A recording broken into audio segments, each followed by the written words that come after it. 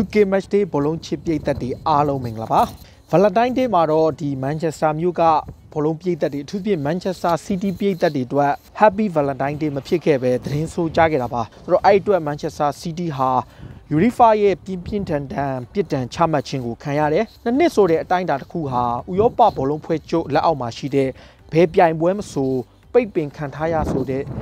အဓိကအချက်ကြောင့်မန်ချက်စတာစီးတီးတို့ပြိုင်ပွဲပဲ့ခံရတာဆိုတာထက်ကစားသမားတွေကိုဆုံးရှုံးသွားမလားနီးပြဖက်ကွာဒီယိုလာကိုဆုံးရှုံးသွားမလားဆိုတဲ့အကြောင်းအရာတွေပါဖြစ်ပေါ်လာစေတယ်ပြောချင်တာကဘာလဲဆိုတော့ဒီလိုနှစ်နှစ်ပွဲပယ်ခံလိုက်ရတဲ့ပြိုင်ပွဲပိတ်ခံလိုက်ရတဲ့အတွက်ကြောင့်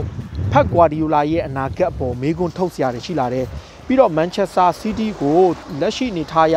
2021ခုနှစ်မှာစာချုပ်တက်တန်းကုန်ဆုံးတော့မှာဖြစ်လို့ ဂွာဒီယိုလာအနေနဲ့ရောမန်စီးတီးပါရှိပါမလားနမဲကျော်စူပါစတာဘောလုံးသမားတွေဖြစ်ကြတဲ့ Kevin De Bruyne တို့ Sergio Aguero တို့ David Silva ကတော့ထားပါတော့ဒီနေ့ရာဒီထွက်မှာတခြား Leroy တို့ Sané တို့ဘာတို့ကစားသမားတွေအားလုံးကရော City မှာဆက်ရှိပါမလားဒီအချက်တွေကအများကြီးပြောင်းလဲနိုင်တယ်နံပါတ်1အနေနဲ့ City ကိုနှစ်နှစ်ပိတ်ပင်လိုက်တဲ့အတွက်ကြောင့် financial အားဖြင့်ငွေကြေးအားဖြင့်တစ်နှစ်ကိုယူရိုတန်း200နဲ့300ကျားသူတို့ဆုံးရှုံးသွားနိုင်တယ်။ Manchester City လို့အသင်းအတွက်ပတ်စံဆုံးရှုံးတာအဓိကမဟုတ်ဘူးလို့ပြောလို့ရပါမယ်။ဒါပေမဲ့ကျွန်တော်ပြောလို့ပေါ့ financial fair play rules တဲ့မှာဘောင်ဝင်ဝင်ဒီငွေတွေသုံးပြီးတော့အသင်းရဲ့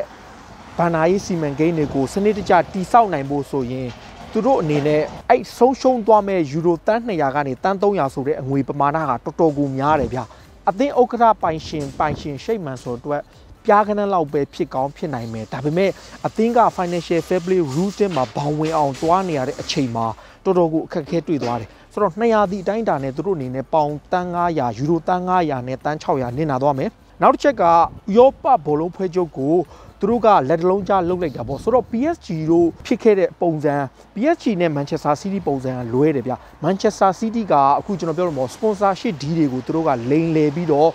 UEFA ကိုအကောင့်တူနဲ့သူတို့ကတင်ပြလိုက်တာဗျကျွန်တော်ပြောသလိုပေါ့ဟို sponsor deal တွေကိုသူတို့ကလိုတာထက်ပိုပြီးတော့အများကြီးနှင်းလိုက်တယ်နှင်းပြီးတဲ့အခါမှာအဲ့ sponsor deal တွေရဲ့အကောင့်ပေါ့ UEFA ကိုဥရောပဘောလုံးဖွဲ့ချုပ်ကို ပြရတဲ့အကောင့်တွေအားလုံးမှာသူတို့ကစနစ်တကျလိန်ညာပြီးတော့ပို့လိုက်တဲ့အခါမှာ Manchester City ကဥရောပဘောလုံးဖွဲ့ချုပ်ကိုဗျအကောင့်တူနဲ့လိန်လိုက်တဲ့အတွက်ကြောင့်ဒါပြင်းပြင်းထန်ထန်ခံရတာဒီချက်က City အတွက်တော်တော်ကိုပြင်းထန်တယ်လို့ပြောပေမဲ့တစ်ဖက်ကကြည့်တော့ UEFA ကိုကြည့်တော့အရင်တုန်းကဖြစ်ခဲ့တဲ့ပြဿနာတွေအားလုံးရှိတယ် financial fair play rules ပေါ့ financial fair play regulation ကိုဖောက်ဖျက်တဲ့ကလပ်တွေအများကြီးရှိတဲ့ပြစ်ဒဏ်ချမှုနဲ့မတူအောင်တမင်သက်သက်ပြင်းပြင်းထန်ထန်ချလိုက်တာနောက်တစ်ချက်ကပြောချင်တာကဘာလဲဆိုတော့ ဒီမှာ Manchester City ကအခုလိုမျိုးအကောင့်တူတွေနဲ့လိန်ပြီးတော့ UEFA ကိုသူတို့ရဲ့ sponsor sponsor deal တွေအကြောင်းကိုသူနှစ်ပေါက်တစ်ပေါက်ရိုက်လိုက်တဲ့အချိန် UEFA ကသူတို့ကိုဘယ်လိုပြောမလဲစံနှုံးပေါ့ဘယ်လိုပြောမလဲအားလုံးရဲ့စံနမူနာပြအဆိုပုံစံမျိုးနဲ့သူတို့ကိုပွဲပယ်ချန်ပီယံလိပြိုင်ပွဲကိုဥရောပပြိုင်ပွဲကိုနှစ်နှစ်ပယ်လိုက်တာပါ ကျွန်တော်ပြောချင်တာကတချို့ကတော့ပြောတယ်ဗျာ Manchester United က Premier League မှာပါ punishment လောက်ခံရမယ်ပြစ်ဒဏ်ချခံရပြီးတော့ League 2ထိဆင်းရမယ်ဆိုပြီးတော့သတင်းတွေတွက်နေတယ်ဆိုတော့ဒီနေရာမှာပြောပြချင်တာ2006ခုနှစ်မှာ Juventus ဟာလုံပွဲတွေကြောင့် CDEA ကနေ CDB ကိုတန်းဆင်းသွားတယ်သူတို့ရဲ့အမတ်ပေးချန်ပီယံဆုဖလားကို Inter Milan ကိုပေးလိုက်ရတယ်ဆိုတဲ့အနေအထားမျိုးတွေရှိခဲ့တယ်ဒါပေမဲ့ဒီ situation ကိုတချို့တွေကပြောပြကြပြတူလားပေါ့မတူဘူးဗျ Juventus ကဒိုင်လူကြီးတွေကို သူတို့စနစ်ကြချေလေတယ်နောက်ွယ်ကနေကြိုးကင်တဲ့အတွက်ကြောင့်ပြင်းပြင်းထန်ထန် punishment ပြစ်ဒဏ်ပေးခံရတာမန်စီးတီးကဒီလို situation မဟုတ်ဘူးမန်စီးတီးကဟုတ်တယ်ယူရီဖာကိုသူတို့လိုထားတဲ့ပို့ပြီးငွေသုံးခဲ့တဲ့အခါမှာအကောင့်တုတွေနဲ့လိမ်လည်ပြသတဲ့ပုံစံမျိုးဖြစ်တဲ့အတွက်ကြောင့် Manchester City နဲ့ Juventus က situation မတူဘူးဒါပေမဲ့ Premier League ကတချို့ media British media တွေအားလုံးမှာတော့ပြောထားတာတော့ဒီ Manchester City ကို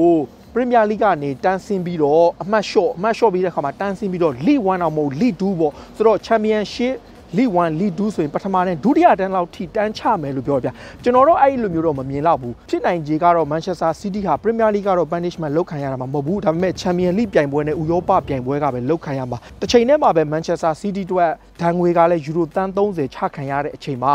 အရက်ဖက်ဆိုင်ရာတရားရုံးကိုအယူခံဝင်မိရှိတယ်အရက်ဖက်ဆိုင်ရာတရားရုံးကဆွစ်ဇာလန်မှာရှိတယ်ဆွစ်ဇာလန်မှာရှိတဲ့အခါမှာအရက်ဖက်ဆိုင်ရာတရားရုံးကိုမန်စီးတီးကတရားရုံးကိုဝင်သွားခဲ့မယ်ဆိုရင်တော့မှကျွန်တော်အထင်တော့သူတို့နိုင်ဖို့မရှိဘူး ပြီးတော့ UEFA ကဒီလိုကိစ္စမျိုးကိုအကြာကြီးတရားရုံးဝင်ပြီးတော့မှ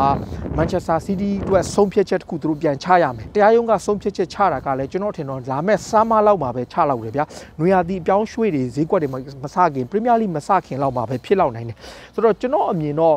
နောက် Manchester City ကိုနှစ်နှစ်ဆက်ဆိုတာထက် Champions League ကနေတစ်နှစ်လောက်ပြစ်ဒဏ်ချပြီးတော့ ဒဏ်ငွေကြီးကြီးလောက်နဲ့အဆုံးသက်သွားလောက်နေတယ်လို့ကျွန်တော်တို့မြင်တယ်ဒါကကျွန်တော်မြင်တာပေါ့။ဘာကြောင့်လဲဆိုတော့ကျွန်တော်တို့ Chelsea လဲကစားသမားတွေကို16နှစ်အောက်ကစားသမားတွေကိုကိုဝယ်ယူခဲ့ပြီးတဲ့အခါမှာပြစ်ဒဏ်ချကန်ခဲ့ရပြီးနောက်ဆုံးအယူခံဝင်တဲ့အခါမှာပြန်ရသလိုမျိုးဒီအရက်ဖတ်ဆိုင်ရာတရားရုံးကလည်း CD ကိုပြစ်ဒဏ်တော့မချနဲ့မို့ချမယ်ဒါပေမဲ့ဒီအဆုံးစုံဒီမချဘဲနဲ့နည်းနည်းရှော့ရှော့ပေါ့ပေါ့နဲ့သူတို့တစ်နှစ်လောက်ပဲချမယ်ပုံစံမျိုးပြဒါ similar ပေါ့အဲ့လိုပုံစံမျိုးကျွန်တော်တို့မြင်တယ်နောက်တစ်ခုကဘာလဲဆိုတော့ တကယ်လို့ဖက်ဂွာဒီယိုလာကရောမန်ချက်စတာစီးတီးမှာဆက်ရှိပါမလားဂွာဒီယိုလာအနေနဲ့လက်ရှိမှာ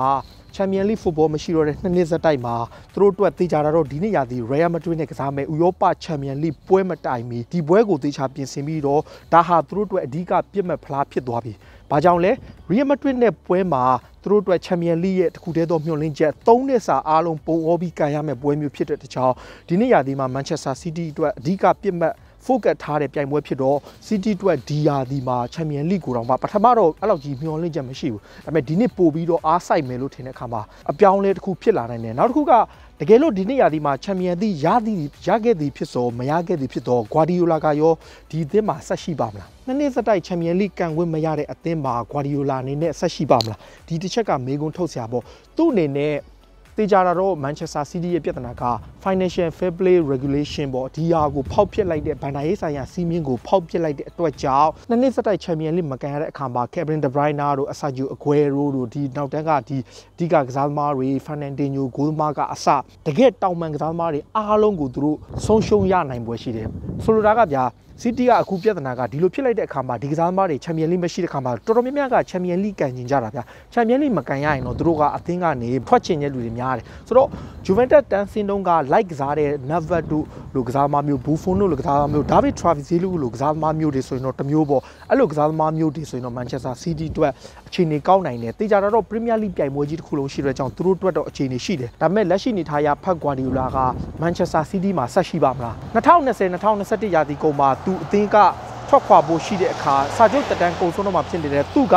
ရာသီကုန်မှာစာချုပ်တက်တန်းတစ်နှစ်ပဲကြံတော့တဲ့အချိန်သူအသင်းကနေသူသူထွက်ခွာသွားမလားဆိုတဲ့အနေထားပေါ့သူ့ကိုစိတ်ဝင်စားနိုင်ဖို့ရှိတာကနံပါတ်1 PSG ရှိမယ် Juventus ရှိမယ်ပြီးရင်သူ့ရဲ့အသင်းဟောင်းဘာစီလိုနာအပြင်ဘိုင်မြူးနစ်အသင်းလည်းဖြစ်လာနိုင်နေရှိတယ်ဒါကကျွန်တော်မြင်တဲ့အနေတော့ပေါ့ဆိုတော့ဂွာဒီယိုလာအတွက်သူ့ရဲ့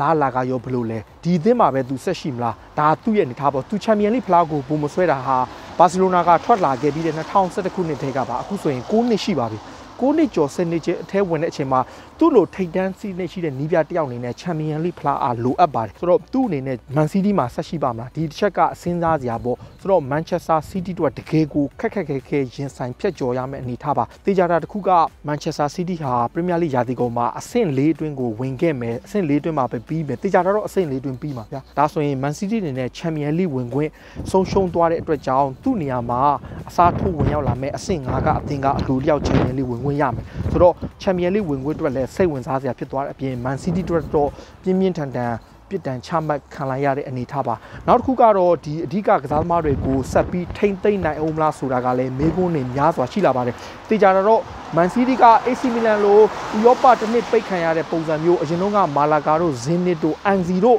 ပြစ်ဒဏ်ချခဲ့ရတဲ့ပုံစံမျိုးတွေမဟုတ်ဘူး လက်ရှိ Man City ဟာ PSG ကပြစ်ဒဏ်ချခဲ့ရတဲ့ပုံစံမျိုးလည်းမဟုတ်ဘဲနဲ့သူတို့ဟာ UEFA ကိုအကောင့်တုနဲ့လိမ်လည်ပြီးတော့ဒီစင်းပြခဲ့တဲ့အချိန်အပြင်ဥရောပဘောလုံးဖွဲ့ချုပ်ကပူးပေါင်းဆောင်ရွက်ဖို့တောင်းဆိုတာကိုသူတို့လစ်လျူပြီးတော့လုပ်ခဲ့တာတွေအားလုံးကိုပေါင်းပြီးပြစ်ဒဏ်ချခံရတော့ကြောင့်မန်ဒီမန်စီးတီးတို့တော့တော်တော်ကိုအထိနာခဲ့တဲ့ဒီ စံချိန်တင်ပြစ်ဒဏ်လို့ပြောလို့ရပါတယ်ဆိုတော့ဖက်ဂွာဒီယိုလာရဲ့အနာဂတ်ကိုလည်းကျွန်တော်တို့စောင့်ကြည့်ရတော့မယ့်အနေအထားမျိုးဖြစ်လို့မန်ချက်စတာစီးတီးကစားသမားတွေမန်ချက်စတာစီးတီးအသင်းကဘောလုံးသမားတွေနဲ့သူတို့ရဲ့အနာဂတ်ကိုလည်းစောင့်ကြည့်ရမယ့်အနေအထားပါဒါလက်ရှိအနေထားမန်ချက်စတာစီးတီးရဲ့အနေထားပါတေချာတာတော့ပရီးမီးယားလိကနေတန်းဆင်းပြီးတော့အမှတ်ရှော့ခံရမှာမဟုတ်ဘူးလို့တော့ကျွန်တော်တို့မြင်တယ်ဒါကတော့မီဒီယာတွေတက်တက်ဖွာတဲ့အနေထားပါဘာပဲဖြစ်ဖြစ်ဒါမန်ချက်စတာစီးတီးနဲ့ဖတ်ဂွာဒီယိုလာရဲ့နောက်ဆုံးအခြေအနေကိုကျွန်တော်တင်ဆက်ပေးတာပါအားလုံးကိုကျေးဇူးတင်တယ်နော်